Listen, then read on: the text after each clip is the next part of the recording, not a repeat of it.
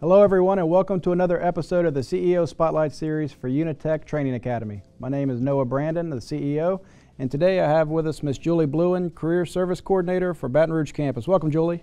Thank you. Nice to be here. I'm today. so happy to have you. I'm, I'm, glad to be here too. Oh, I'm good. excited to be here. oh, really good. Am. Well, tell us a little bit about yourself, Julie. Okay, I've been married for over 45 years. I have two kids, uh, Chantel and Irvin Jr. I have six grandkids.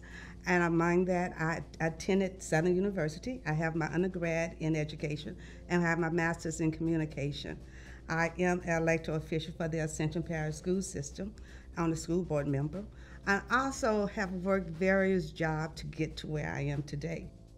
Well, cool. Well, well Tell go, me how I yeah, go a little further. How, yes, what, what led you to Unitech? Unitech? Yeah. Okay, in the process of getting to Unitech, I, I worked as a teacher. I taught high school.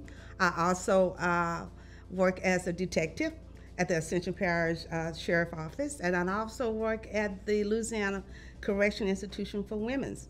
Outside the fact that I spent eight years at another preparatory school as a career service counselor. And after that eight years I spent at that school, I decided, okay, I'm going to retire. Uh, yeah, I retired for three years. Uh, I think after that three years, I had an incident where my grandson died. And when my grandson died, it made me had to go back to work. I had to go back to work because of just to do something with myself. And it was lucky the fact that Unitech was hiring. And I went in on the last day as God planned it to get the job. I interviewed with Chris and Nikki, and the rest is history. I'm here. oh man, you have such an interesting background, and I love it. so, how's all that played into how you are today as a professional? I think every job I had made me who I am. Yeah. I, I learned so much from every position and in life itself. I learned that you you don't judge people on how they look because in the prison system, you you look at certain people and you say, "Oh, why are they there here?" But you got to know the story. And I think because of that, I learned to listen to what people was all about. I learned, and as a detective, I can sit down and observe people and know who would do what and why they're doing it. So in the midst of all that, that made me good at what I'm doing. When I walk into a student, I know when they're telling me the truth, and I know when they're lying to me. so I know when they want help and when they don't. So I think just being me and all the experience together make me who I am as a career service representative that do good at I'm good at what I'm doing. I'm just well you are good at what I do. well, you're good, even if you I listen. Just said it, yeah. Not only do you believe it, but your numbers back it up. Uh, yeah. Students in Baton Rouge are going to work. They are gonna, and, and they are gonna work, and they are enjoying it. I mean. I think it's more than just going to work and let them do it. It's going to work and let them know that they are good at what they do. Yeah. You know, you the whole time they're there, I have a relationship with my students.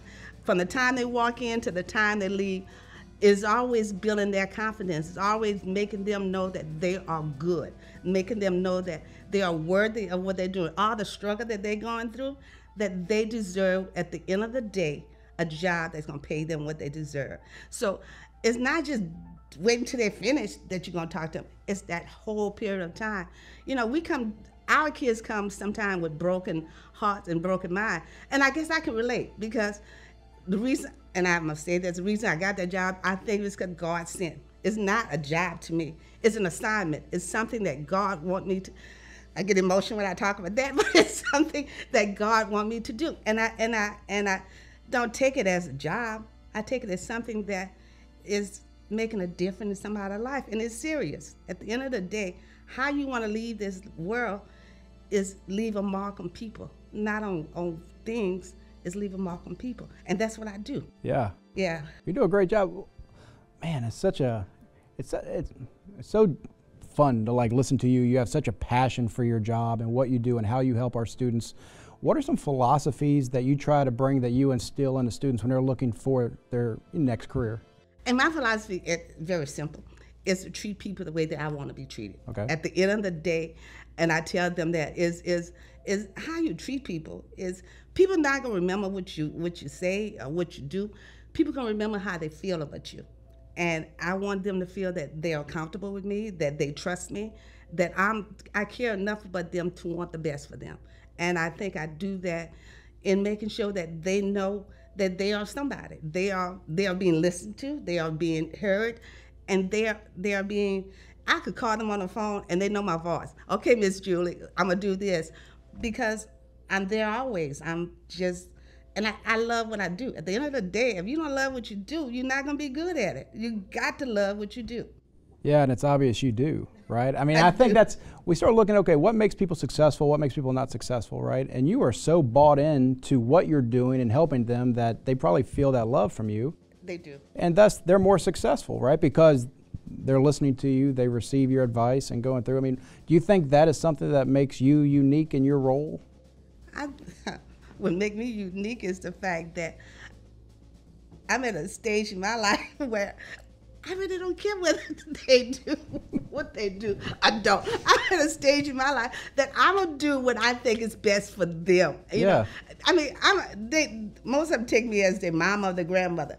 They listen to me because I'm gonna tell them when they're right, and I'm gonna tell them when they're wrong. I'm not gonna sugarcoat it. I'm not gonna make it pretty.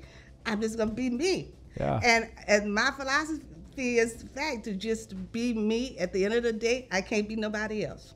I think there's so much for all of us to learn from that. You know, just listening to you. I mean, I'm sitting here thinking about, man, yeah, you're right. You know, we need to just go out there and be ourselves and do what we do. You know, and uh, so many people are held back because they're just scared, right? Or they're scared to step out of line, or they don't want to reach their potential. And what's so awesome about listening to you, you're all in. I mean, you're just all in on doing what you want to do to help people That's and push it. forward. And I think it's so cool. And I'm all in in making sure that they know that they're worthy. Yeah. At the end of the day, they have to be. They come in there broken hearted, broken feeling, but if they're not, when they leave out of my office, if I just say, "I love you for who you are," sometimes that's all they need to hear. Uh, it's a smile on my face, or just tell them, you know, you're good, you're gonna make it. Sometimes they never heard that before, but I constantly let them know that they are worthy of what, whatever they're going through. I'm really happy that you're on our team and helping our students. Yeah, because I think it's, uh, man, it's just so refreshing to hear. I think it's, I, I love it. What do you like doing outside of work? Okay, so let's transition a little bit. What do you like to do when you're not helping our students get employed and move forward with their lives? Okay, my husband is a pastor, and I'm the first lady of a church. Okay. So between, I ain't got no other job. No? Between the church, my grandkids, who think that they own me, whatever is pleasing to them. The only time I take a little part is when I sit down and watch a good movie. I, that makes my day when I could just sit back, not have nobody bother me, and just watch a good movie.